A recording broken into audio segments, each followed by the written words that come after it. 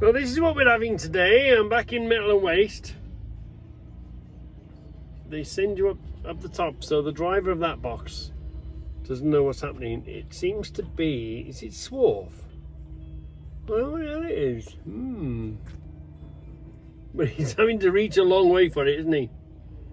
So they've took the box off, inverted it. See how the doors open? And then they'll fill it from the bottom up. Hmm. Yeah. Long reach for that today. Yeah. Grab a load of it. Let's follow it across. And in the box. Hmm.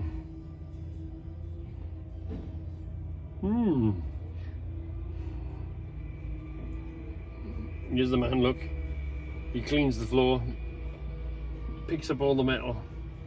Clever. It's amazing how it's funny to watch the metal run towards it.